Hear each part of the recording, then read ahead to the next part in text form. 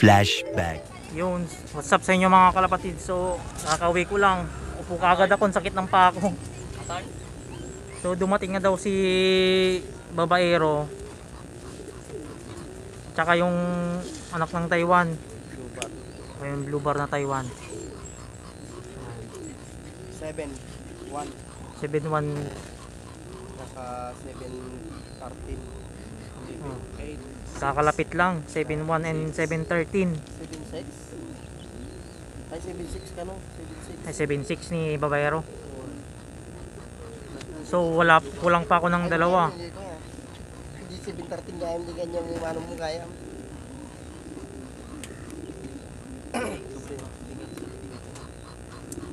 Tapos, palog mo na doon. Yan. So, mamaya ko tatayo. Ang sakit ng pit ko. Ang sakit ng pa ko kakakik kanina. So, yan. Malapatid. So, balikan ko kayo. A flashback.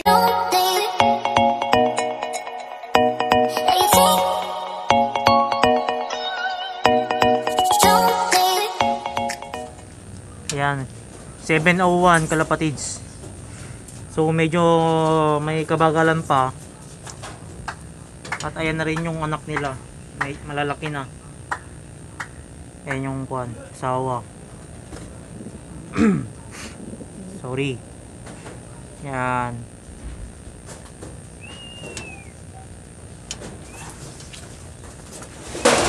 Then check naman natin dito sa malaking kulungan si yan si blue bar.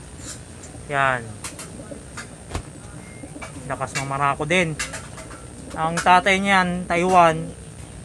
Yung nanay niya Romblon andun yung nakabreed.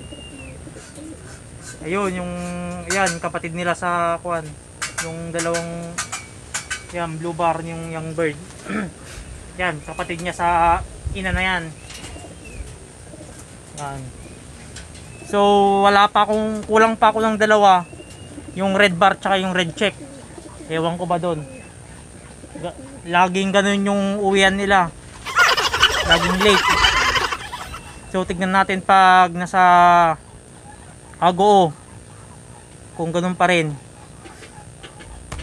Pero mas okay yung ganun para naman malibot nila yung area.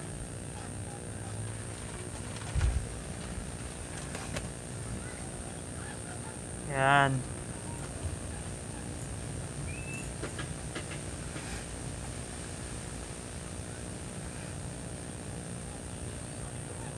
Pogi na. Yan. Yun, nag, naglugon na kasi yung grizzle na yan kaya hindi ko na sinama eh. Kung di naglulugon yan, sasama ko yan sa training. Kaso naglugon, sayang. Ito, kakagaling lang sa one eye cold. Sinabak sa training kaagad. Yan. Yan yung mga pang steam south. Yan, dalawa. Tsaka ito. Yun. Yan no, naka double band. Yung binamara ko ni Kwan, Taiwan.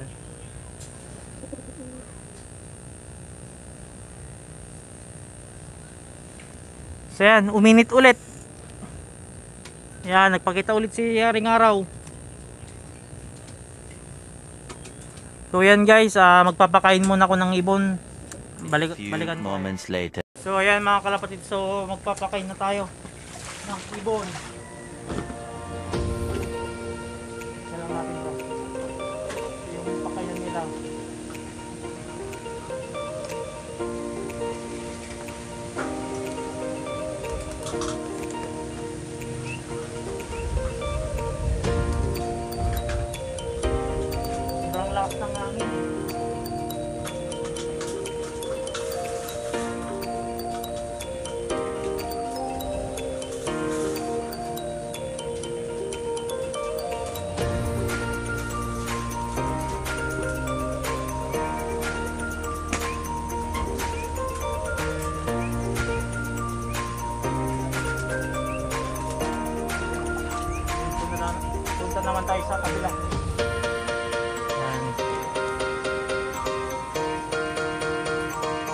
Mga kalapatids.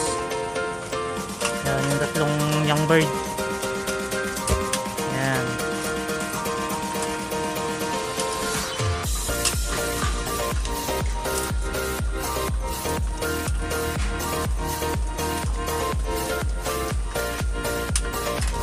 Yung tatlong young bird na yan. Yan yung kapatid nila Taiwan, yung, yung tra training ko ngayon. Yung dalawang blue bar na yan. Yan o, kalapatid. So, lakas ng hangin. Yan, lakas ng hangin. Baka ah, yan yung isa but wala pa yung dalawa kong kalapate sa sobrang lakas.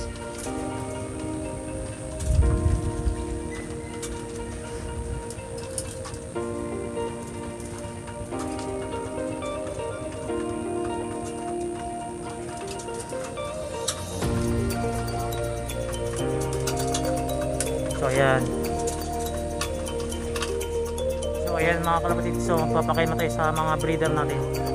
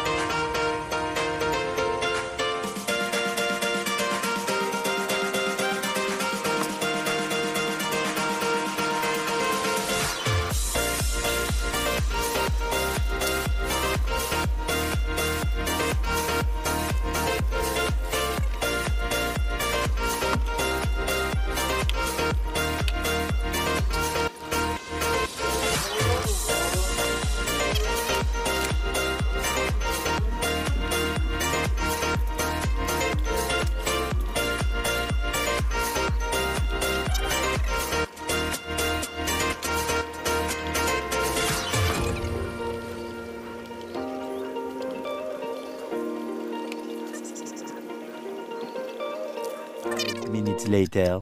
Yan, so yan, kalapatid. So yung halo natin sa tubig nila, protolite. Na kuha ko lang tong tip kay homing pigeon. Yan. Malakas to makarecover ng ibon guys sa training. Yan. Kay homing pigeon ko to nakuha. Tong tip na to. Dito ah dalawang dalawang takip nito sa isang litro.